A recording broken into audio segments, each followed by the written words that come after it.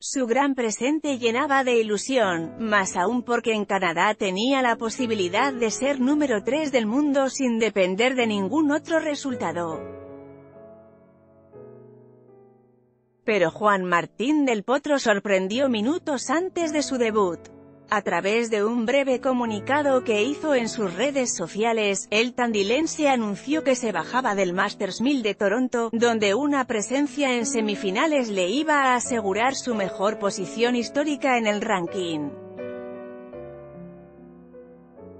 Igualmente, ese lugar todavía puede conseguirlo sin jugar, lamentablemente no voy a poder participar en Toronto porque mi muñeca izquierda debe descansar unos días, explicó Delpo, cuyo primer partido en el torneo iba a ser frente al holandés Robin Haase, 39 grados ATP, a las 12 de Argentina, por la segunda ronda.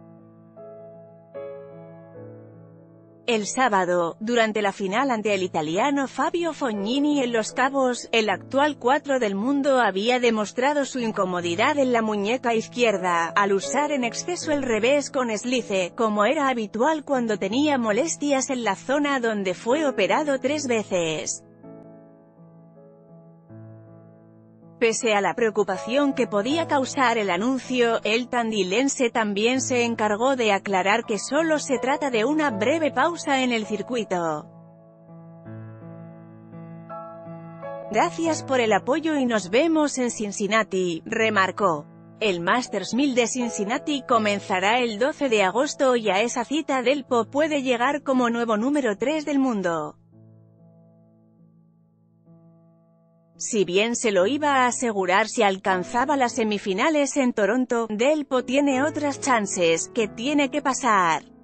Alexander Zverev, actual dueño de ese puesto, le lleva 210 puntos a Del Potro.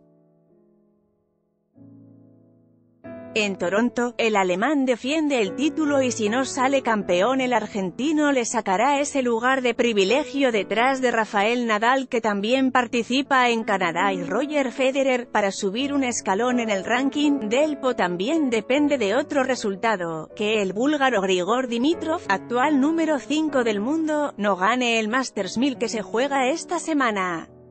Un dato a favor, Zverev y Dimitrov, podrían encontrarse en semifinales, mientras que del otro lado del cuadro aparece Nadal, el máximo favorito.